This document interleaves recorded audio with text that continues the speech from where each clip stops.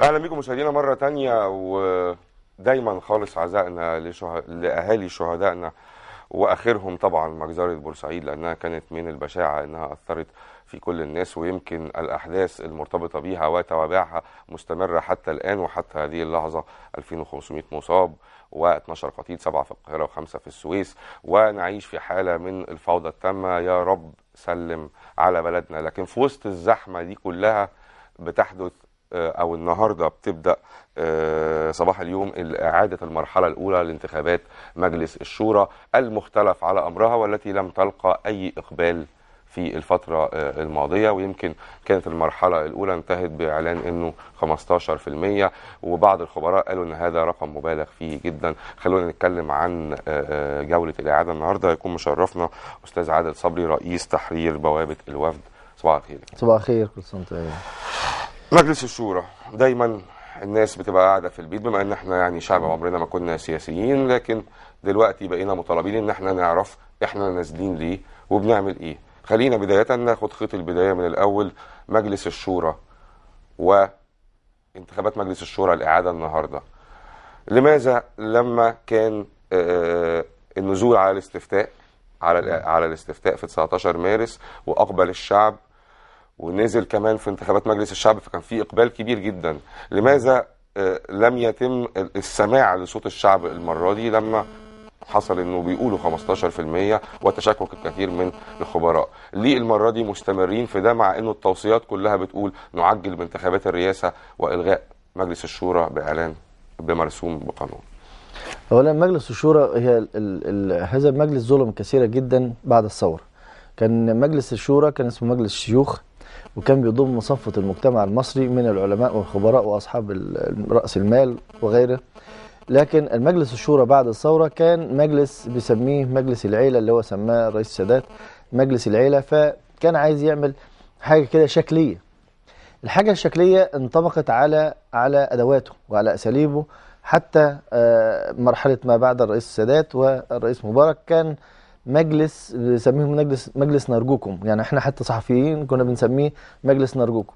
يعني يرجو الحكومة إنه يعمل كذا. طب ده يختلف عن. مجلس الشيوخ سابقا بقى في يختلف تماما. تمام. يختلف في في إيه أدواته يا فندم؟ ف- في كل شيء. اولا اولا أعماله مجلس الشيوخ كان مجلس موازي تماما لمجلس الشعب.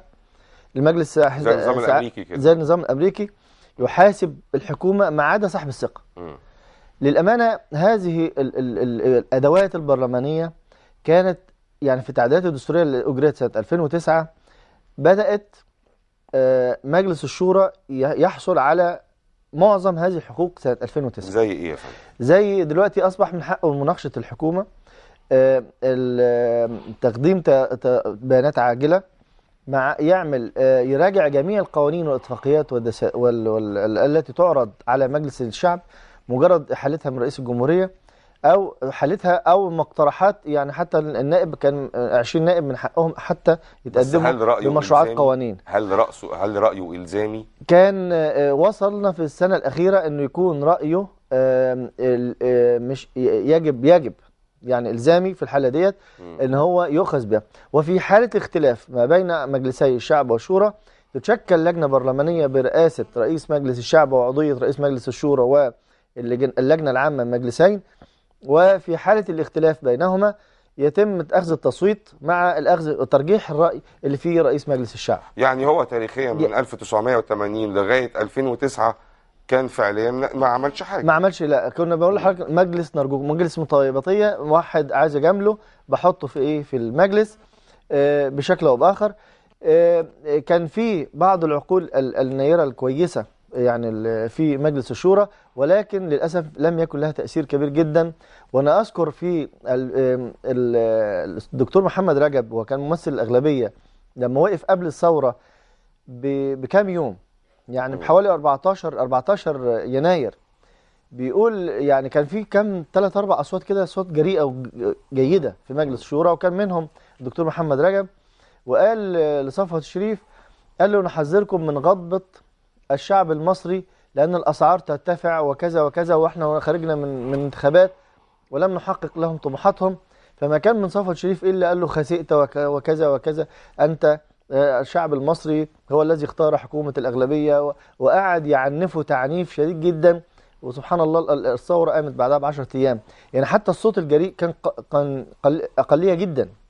يعني آه، طيب. المهم في الإجراءات إن مجلس الشورى لم يفعل بشكل يخلي المصريين الحاليين الذين لا يعرفون ماذا كان يفعل مجلس الشيوخ لا يتعاطفون ابدا مع مجلس الشورى بشكله الحالي. طيب يا فندم تكلفة تكلفة انتخابات مجلس الشورى تقف بحوالي قد إيه؟ هو على الأقل على الأقل التكاليف 50 مليون جنيه. على ميزانية العمل الدولة. ده غير ال- كلام جميل. ما هي موازنه الدولة دي طبعا عليها مشكلة لأنه لا, لا, لا تنحاز للمواطن المصري ودي عندنا فيها مشكلة ما اتحلتش لغاية النهارده. لكن أنا بتكلم بسأل ليه ليه بسأل على هي بتتكلف قد إيه؟ لأنه الاتجاه العام من كذا شهر إنه المطالبة بإلغاء انتخابات مجلس الشورى وتقصير المرحلة الانتقالية وحتى ده اقترحه المجلس الاستشاري في الآخر مؤخرا.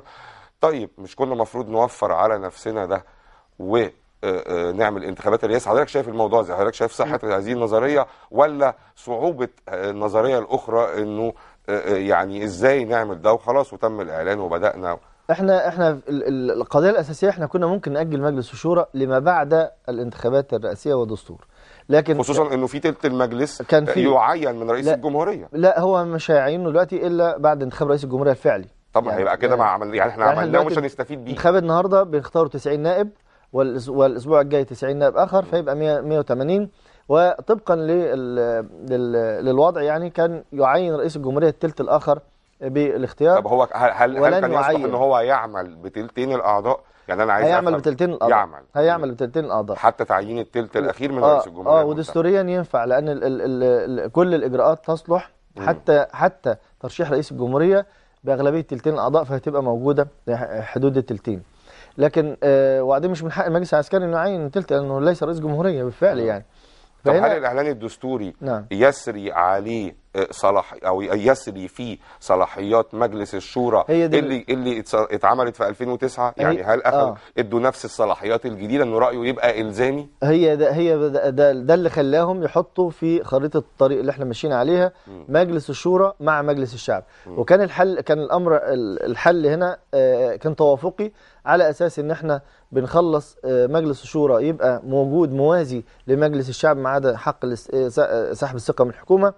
فطالما ارتضينا هذا الموضوع وحطينا المسار كنا لازم نكمله لآخره حتى لو حصل اللي بيحصل دلوقتي. إحنا شايفين طبعا في إقبال ضعيف جدا. هي 15% ديت يعني ما نقدرش نقول النسبة العامة على مستوى الجمهورية. هل ترى هذه لأن- نسبه نسبة حقيقية لا ليست ولا- حقيقية تماما يعني. لأن ممكن أقول الكلام ده في الأرياف. بالارياف بيحصل ضخ من ال ال الأحزاب. والمجتمع نفسه بيبقى الم- المرشح بيبقى عايز يضخ ال- الناس بأي شكل من الأشكال فممكن يجيبهم على حسابه ممكن من عيلته في تعصب.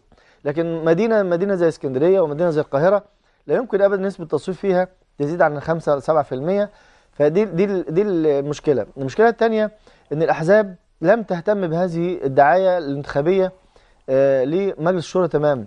اجهزه الإعلام لم تركز عليها وجدت الأحداث الساخنه غطت على كافة آه، والأحزاب. أجهدت كمان في انتخابات الشعب والناس. نفسها أجهدت يعني حضرتك دلوقتي لما تشوف إحنا خرجنا كام يوم عشان انتخابات مجلس الشعب المدارس عطلت كام يوم عشان مجلس الشعب الأعمال نفسها عطل عطلوا الناس كام كام يوم عشان أنا في المقدمة يا. فندم قلت إن إحنا دلوقتي يعني إحنا صاحيين على تفجير خط الغاز المرة ال 12 أيوة. وصاحيين على 2500 مصاب و12 صحيح. و12 شهيد الأحداث نفسها كثيرة جدا وهجوم على أقسام و و و في حالة من صعبة جدا في البلد. فهل من المناسب إن إحنا نستمر بغض النظر عن أي شيء في انتخابات مجلس الشورى؟ ما هو- يعني هل هو- هل هل مجدية إن إحنا نصرف الفلوس دي على انتخابات في الأوضاع الحالية دي؟ ما هو أنت أصبحت أمام أمرين. إما تنفذ خريطه خط الطريق أو إنك ترجع عن المسار. لأن أنا دلوقتي رابط مجلس الشورى بالاستفتاء اللي عملناه وبالإعلان الدستوري اللي كملناه. وربطنا مجلس الشعب بمجلس الشورى. يبقى أصبح حتمي عليك تكمل المرحلة دي رغم مشاكلها ورغم اختلافاتها ورغم عدم إقبال الناس عليها. يا إما كنا نرجع خطوة 20 خطوة لورا تاني. فهذه المشكلة الأساسية إنك أنت اتورطت في حاجة ولازم تكملها. طب يعني شربت مقلب لاخره ماذا عن الرأي الآخر اللي بيقول إنه طب لا إحنا نوقف حالا هذه الانتخابات لأن هي ما فيش عليها ما أنا إقبال لو وقفتها. النهارده يبقى هيترتب عليها أرجع ورا تاني. وإلغاء كل ما يختص بمجلس الشورى في في في في ال في ال ال الإعلان الدستوري. تمام. على أساس إنه يبقى يعني ده هو شوف مجدي شوف. ده هتكلف قد إيه؟ لو هعمل استفتاء تاني. لازم هعمل استفتاء تاني. ما هو دي مشكله بقول لحضرتك أنت شربت مقلب. لازم تكمله. بس فندم في حاجات اتغيرت اتغيرت. في الإعلان الدستوري يعني من غير رأي الشعب يعني. ما هو ده ما هو ده يعني مش ده اللي عامل عدم الثقة ما بين الناس وما بين المجلس العسكري حتى الآن؟ يعني لما المجلس العسكري هو يستبق المنطق خسارة قريبة ولا خسارة بعيدة يعني. بالظبط. هو دلوقتي خساره خسارة قريبة أهو. لكن مجلس الشورى مجلس الشورى ممكن يبقى مجلس مم يعني آه، ممتاز جدا وأداة جيدة جدا خاصة في حاجة. ما تنساش إن إحنا دلوقتي أغلبية مجلس الشعب سيطرت عليه التيار الديني سواء كان إخوان أو سلفيين.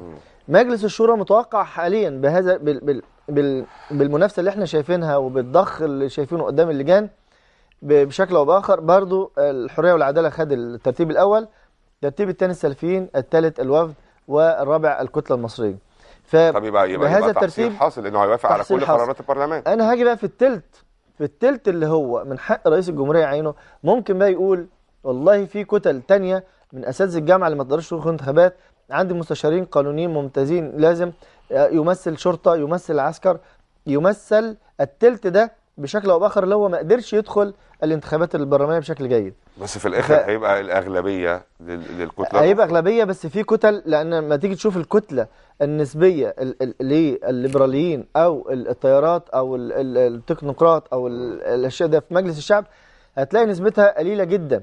لكن لما وصلها للتلت في مجلس الشورى ومجلس الشورى دول يكون عندهم القدرة على الحركة والنشاط ومساءلة الحكومة ومحاسبتها والرقابة على ميزانية الدولة والرقابة على القوانين ده على فكرة في في على المستوى البعيد هيصب في صالح في صال- صالح الفرد وصالح التيارات المختلفة. لأن دلوقتي حضرتك لما تلاقي أغلبية كاسحة في مجلس الشعب هي اللي بتقرر وبتنتمي للتيار ال- ال- ال- الديني هنلاقي إن مجلس الشورى ممكن لو في حاجة ممكن يفرملها بعض الشيء إذا كانت مخالفة الاتجاه ده. وفي الحالتين هيتم المناقشة بين الطرفين بشكل يفيد المجتمع. يعني أنا تصوري إن مجلس الشع... مجلس الشورى لو عاد كمجلس الشيوخ كما كان سيكون أفضل كتير جدا وال 50 مليون جنيه ولا ال 100 مليون جنيه اللي هتنفق عليه هيكون في صالحي وك- ك- كفرد أفضل من إن أنا أهدمه أو أقفله خالص. حاليا يتطلب زي الأمر هنا, ذلك. هنا هنا بيظهر السؤال يا فندم. في إطار أحداث متلاحقة كثيرة جدا وبسرعة عالية جدا وبلد بتتحول من النقيض للنقيض في وقت في وقت قليل واتهامات للثوار. يعني أقول الوضع نفسه التحول ده- أنا أنا أنا سؤالي هل في الوضع ده آه، آه، نقدر إن إحنا نتحمل إنه مجلس الشعب يقول ومجلس الش- الشورى أيوة. يرد عليه وهكذا ونبقى رايحين جايين في إطار إنه الوقت ضيق جدا وفي أماكن إحنا إحنا بتحرق إحنا إيه ال- ال- اللي حاكمنا إحنا ال- اللي يهمنا كلنا دلوقتي؟ حاجتين الأول حاجة الدستور ثم الرئاسة وبعد كده البلد هتبقى لها شكل ومعنى وراس وجسم وكل حاجة يعني دلوقتي إحنا عندنا عندنا البرلمان وعندنا ده المجلس التشريعي الوحيد ال- يعني المجلس الرسمي يعني الشعبي الوحيد اللي حصل على آه، صلاحية من الشعب. المجلس العسكري صلاحيته مؤقتة. ما فيش أي حاجة تنازع البرلمان حاليا. لما يجي آه، مجلس الشورى ويكون مجلس أصلا جاي برضه بشرعية منتخبة. ايا كانت هذه الشرعية يعني ما اغلبيه أو- يعني انتخبته أو أقلية المهم في شرعية ما ممثلة للشعب. فبالتالي بيحط هو خريطة يساعد على وضع خريطة للدولة بشكل جيد وانت ترتضيه والناس معظم الناس ترتضيه إحنا بنقول إيه؟ إحنا اللي خرجنا عن المسار وال- والحالة اللخبطه اللي إحنا فيها الفوضى اللي إحنا حضرتك بنركز عليها في دي. إيه الفوضى؟ الح... ال- السبب الحقيقي للفوضى إن إحنا بنخطو خطوة وبعدين نخطو. يعني ننط فوقها.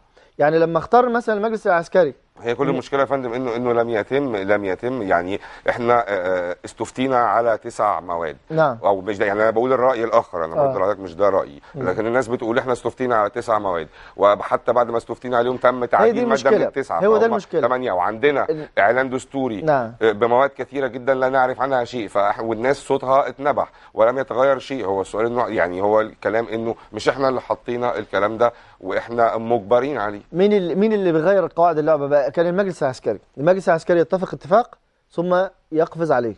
يغ... يغ... يتفق اتفاق مع الناس ويق... طب ويقفز ده راجع. لإيه يا فندم؟ ها ها اللي راجع لحاجتين. إن المجلس العسكري تصور أنه الحاكم الآمر في البلاد وأنه سيعود بنظام الحكم إلى ما كان عليه مع تغيير الرأس. يعني إحنا كان بتصور إن إحنا غيرنا رأس الحكم. ولم يعني كان يتصور أن هناك لم يكن هناك ثورة ولكنها انتفاضة أو غضب لحظة غضب. لم يكن يتصور أن المصريين مصممين على أن الثورة مستمرة والشعب سائر ولن يرضى أبدا بأن يعود الحكم بشكل آخر أو برمز آخر. يعني هو ده المشكلة. عشان كده ما اعترفوش إن في ثورة إلا قبل الثورة بيومين. يعني اللي قالوا ده ده ثورة ده ثورة. حضرتك بتتعاملوا حتى الآن إنها احتجاجات و... وانتفاضات. لكن قبل ال 25 يناير خلاص أقروا إنها ثورة لأن وأقروا على فكرة المجلس العسكري النهارده عايز يسيب السلطة قبل بكرة. يعني ودي معلومات عندي مؤكدة النهارده عايز يرجع السكنات بأي شكل من الأشكال بس عايز يستف الأوراق. بعد أن أيقن أن الشعب المصري سائر والثورة مستمرة. وهو دلوقتي مش هيقدر يلخبط قواعد اللعبة زي ما كان بيحصل ال- الأيام الماضية. يعني أي لخبطة في قواعد اللعبة حاليا لما أجي أقول بلاش مجلس الشورى يبقى لخبط الدنيا تاني وهرجعنا ورا. عشان كده هو عايز يخلص المسألة. هنستحمل أسبوع نستحمل 50 مليون 100 مليون ما إحنا كل يوم بنخسر طيب ملايين. سؤالي بس الأخير عشان إحنا فقرتنا خلصت والوقت اتفضل. خلص بس أنا لازم أسأل عليه حضرتك شايف إزاي 11 فبراير اللي جاي خصوصا إن في دعوات للعصيان المدني في كل حتة وانضم لها كثير من الجامعات النهارده. 11 يعني 11 فبراير ستكون تأكيد ع- وجماعي إن الثورة المصرية ليست ضد حسني مبارك كشخص ولكن ضد النظام الفاسد بأكمله. وبالتالي ستكون وقفات إصرار على أن الثورة مستمرة من جميع المصريين وأن ال- ال- ال- الشعب المصري ينظر إلى الأمام ويريد أن يمحو الماضي بكل مآسيه. هي ده ده الأساس يعني. لكن إحنا بنتوقع إن شاء الله يعني هكون أفضل من الأيام الماضية مش هكون أسوأ من اللي حصل في بورسعيد. نتمنى يا فندم ونتمنى إنه ال- الإصابات آه، إنه الوضع يهدأ وإنه تقل الإصابات ولا نتمنى شهداء أكتر أكتر على- من على ذلك فكرة- لأنه دماء المصريين على الص- الصو الصور الحقيقيين يعني لما كنا في الثورة لم يكن أي واحد يرتكب أي أعمال عنف. يا عنف وده أكيد أعمال وده- عنف وده والبلطجة مارسها آخرون محد- محدش موافق على ده. وللأسف الشديد الأجهزة عندها من يحرك الأحداث وهم يعرفون ذلك وبالأمس المجلس العسكري لما أصدر بيانات قالوا إحنا عارفين وهنحاسب إحنا نفسنا بس يظهروا من هو وكيف نحاسبه أو إذا لم يكن قادرين على محاسبته فنحن قادرين على محاسبته. نتمنى يا فندم أستاذ عادل صبري رئيس تحرير بوابه الف- الوفد نورتنا يا فندم ونتمنى إنه جزيلاً. وضع بلدنا يهدى عن كده. إن شاء الله. مشاهدينا دي كانت نهاية فقرتنا. بنحب نفكركم إنه اللي فاتته فقرتنا أو فاتوا أي فقرة في اليوم ممكن يشوفنا على اليوتيوب شانل بتاعتنا. نهارك سعيد كلمة واحدة ومكان العين رقم ثلاثة باللغة الإنجليزية. ممكن تتواصلوا معنا على تويتر أو على الفيسبوك. نهارك سعيد. بنحب نفكركم إنه معانا فقرتين باقيين فقره منهم. أعتقد ناس كتير جدا تحب تشوفها وهي فيها هيكون ضيفها المدون والناشط السياسي مايكل نبيل وده هيكون مع زملائي مي وأشرف. ده غير إنه عندنا فقرة تانية مهمة عن العلاقات المصرية الأمريكية لأنه الكثير بيسأل عليها وعايزين يعرفوا أكتر وأكتر. فقراتنا مستمرة في نهارك سعيد لكن بعد الفاصل تابعونا.